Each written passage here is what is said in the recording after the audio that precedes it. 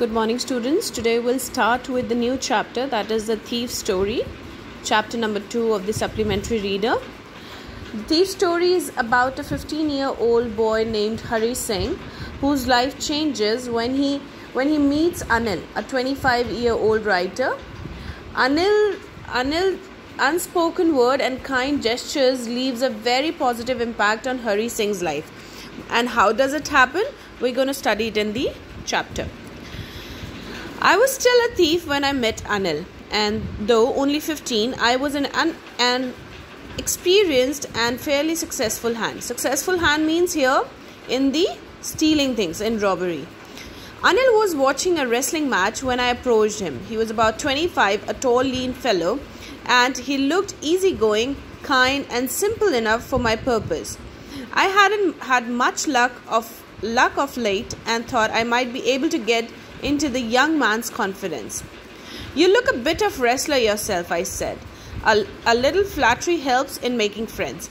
So basically, this is tell uh, th- this paragraph tells about you know when the thief meets Anil. Okay, so now uh, meeting Anil, now he's just trying to make friends with Anil. Now what he says that I could when I saw Anil, I could see that he could be the easy and a comfortable uh, person for me. Why? Because I can actually make him fool with my flattery, uh, flattery kind of words. Okay. So now he says that Anil, Anil, who is actually uh, a 25 year old boy, he's very tall and lean fellow, and he was watching a wrestling match. So when he was uh, watching a wrestling match at that time, uh, Hari Singh approached Anil and he said that you look like a bit of a wrestler yourself also. Though he was lean, but still he said that you look like a wrestler. So do you, he replied, which put me off for a moment because at that time I was rather thin. Well, I said modestly, I do wrestle a bit. What's your name? Hari Singh. I lied. I took a new name every month that kept me ahead of the police and my former employers. After this introduction, Anil talked about the well oiled wrestlers who were grunting, lifting, and throwing each other about. I didn't have much to say. Anil walked away. I followed casually. Hello again, he said. I gave him my most appealing smile. I want to work for you, I said, but I can't pay you. So now you know what Hari Singh is trying. Hari Singh is trying to just flatter this uh, boy Anil. Reason being is because he wanted to make fool of Anil once again. So now he said that I keep on changing my names every month. Reason being is because otherwise, if he would have carried the same name, it would have been very easy for the former people who who actually he, he uh, I mean he actually made fooled of. So he said that even uh, when he wanted to uh, be a I mean, he wanted to escape from the police, so he kept on changing his names frequently. So he said that. Now, finally, he came here and said that I want to. After uh, after talking about the few ple- uh, few pleasantries, what he said that I want to work for you, but Anil said that I cannot pay you.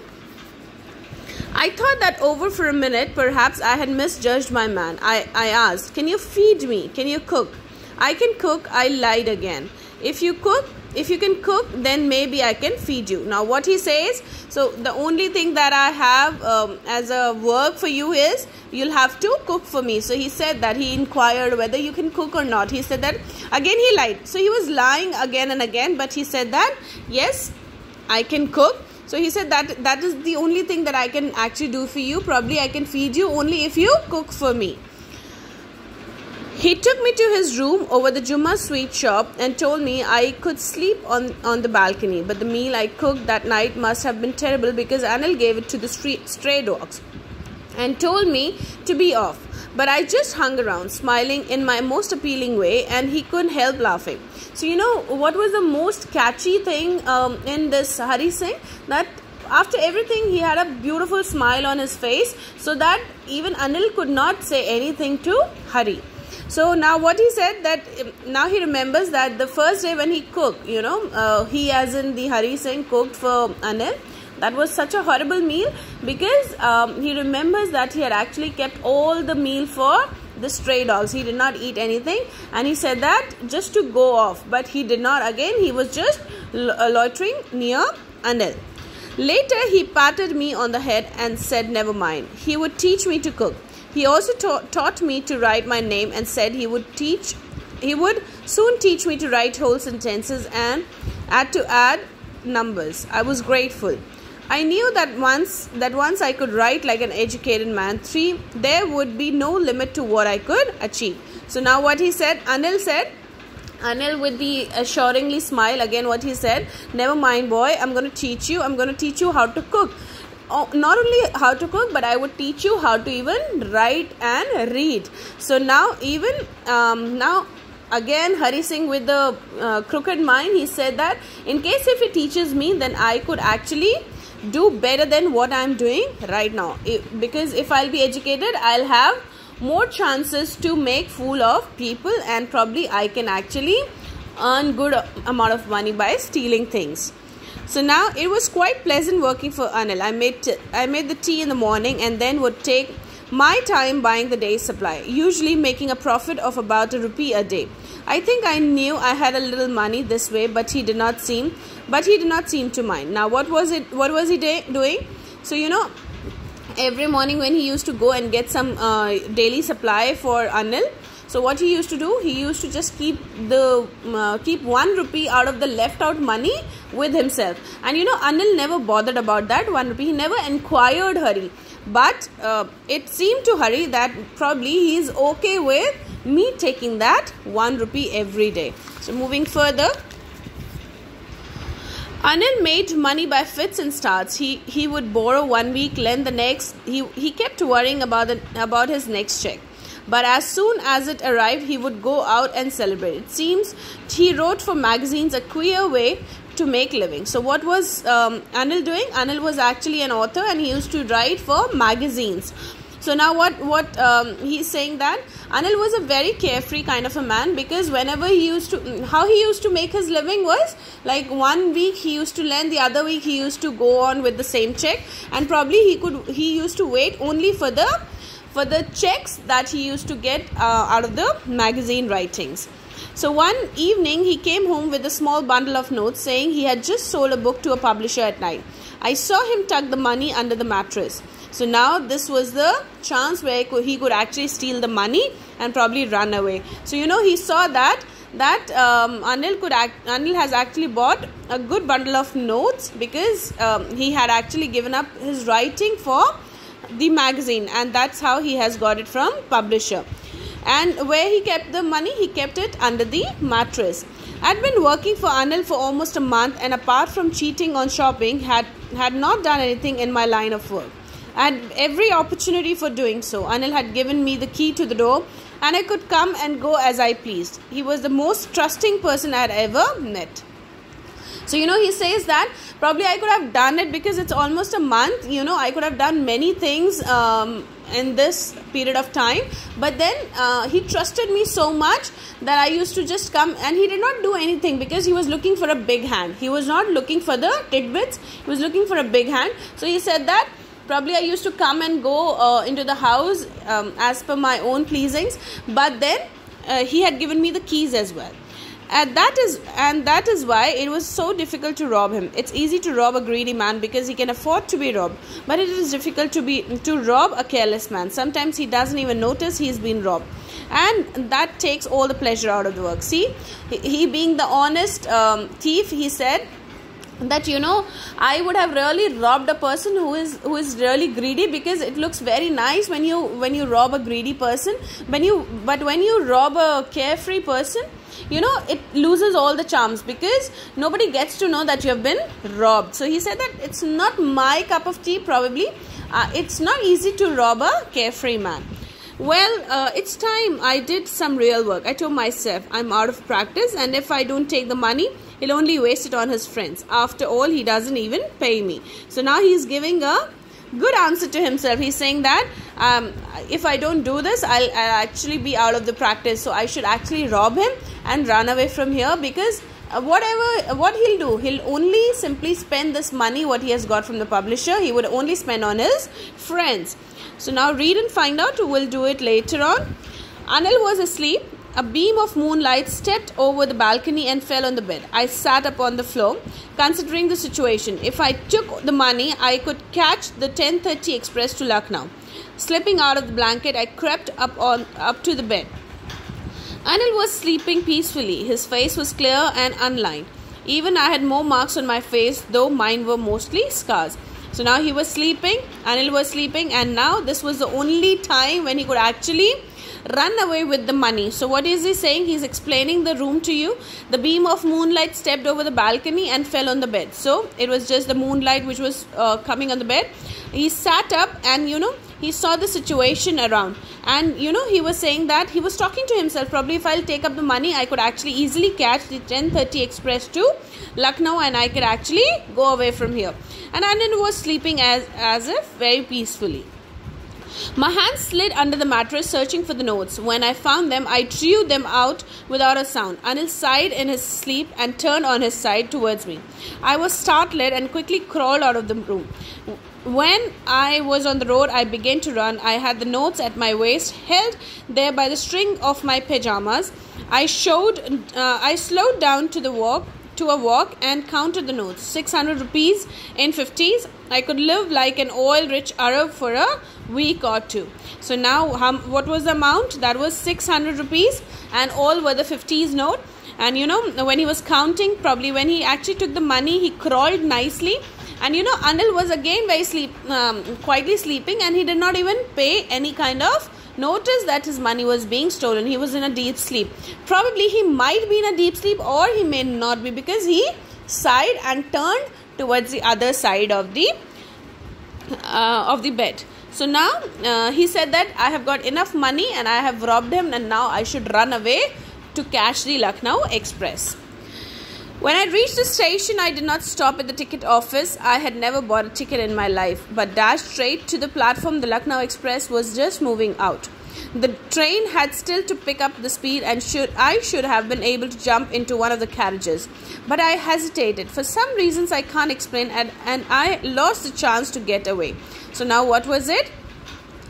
uh, the train was about to move uh, to catch the speed but then you know something struck in his mind and he said that i i could not move. I did not i did not want to move. Why? Because there was something that he could not explain that he wanted to stay back and he doesn't want to move when the train had gone i found myself standing alone on the deserted uh, platform. I had no idea where to spend the night. I had no friends believing that friends were more trouble than help. And uh, because he never used to trust on anyone. So definitely he's a he's a thief so he did not nah, trust on any of the friends and I did not want to make any anyone curious about staying at one of the small hotels near the station. Now, he was just taking all the precautionary me measures. He said that uh, it's it's not safe to go and take a lodge. Probably somebody would definitely come in look out for me. Probably a police. But then he said he was just talking to himself. This the only person I knew really well was the man I had robbed. Leaving the station, I walked slowly through the bazaar. Now he left the station, he's moving through the bazaar. In, in my short career as a thief, I had made a study of men's faces. When they had lost their goods, the greedy man showed fear, the rich man showed anger, the poor man showed acceptance. But I knew that Anil's face, when he discovered the theft, would show only a touch of sadness, not for the loss of money, but the loss of trust. So now he was just talking, he was talking to himself, he was saying that as per his experiences, he was saying that when I've actually robbed a rich man, he, he showed the anger. When I robbed the poor man, he showed the acceptance. But a greedy man always showed a fear. But now, when he was thinking of Anil, Anil, when he was thinking, he just saw that probably a mm, very thin line of sadness not because of losing the money but losing the trust because he trusted Hari Singh like anything. I found myself in the Maidan and sat down on a bench. That night was chilly. It was early November and a, night, and a light drizzle added to my discomfort. Soon it was raining quite heavily. My shirt and pajamas stuck into my skin and a cold wind blew the rain across my face. So it started raining and you know the entire clothes that he was wearing that was sticking to his body and there was a cold wind blowing because it was november i went back to the bazaar and sat down in the shelter of the clock tower. The clock showed midnight. I felt for the notes. They they were damp from the rain.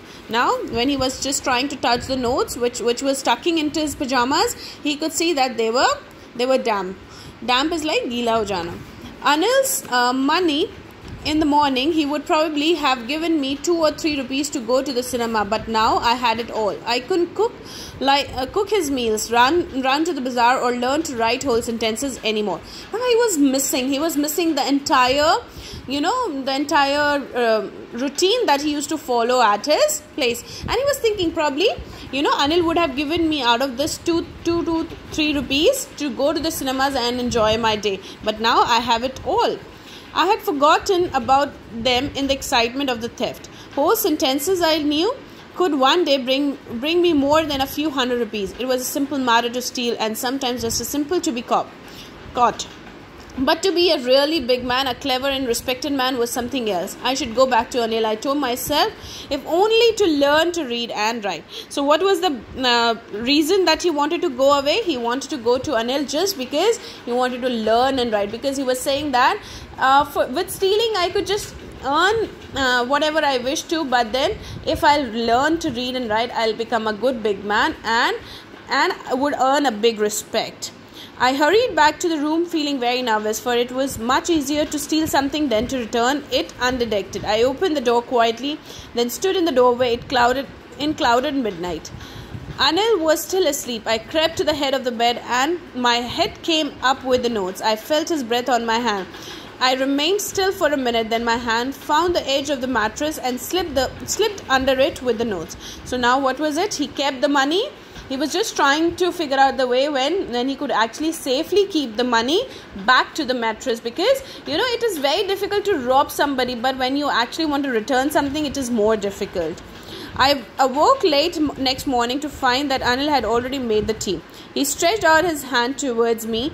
There was a 50, 50 rupee note between his fingers. My heart sank. I thought I had been discovered. You know, he was just trying to give money to that uh, fellow and Hari felt that maybe he has really found out that I actually stole the money. I made some money yesterday, he explained. Now you'll be paid regularly. My spirits rose. But when I took the note, I saw it was still wet from the night's rain. Today we'll start writing sentences, he said. He knew, but neither his lips or nor his eyes showed anything. I smiled at Anil in most appealing way, and the smile came by itself without any effort. So now imagine uh, his spirits rose and he said that he took the note and the note was still wet. And uh, Anil, say, Anil I'm sorry had actually discovered that probably this was the stolen money but then he had actually kept it back. So he did not say he did not utter a word because he thought that probably he must have thought that that the money has come back and he does he wants to really become a good man. So now he said that we'll start with writing the sentences. And again he smiled in, in the most appealing way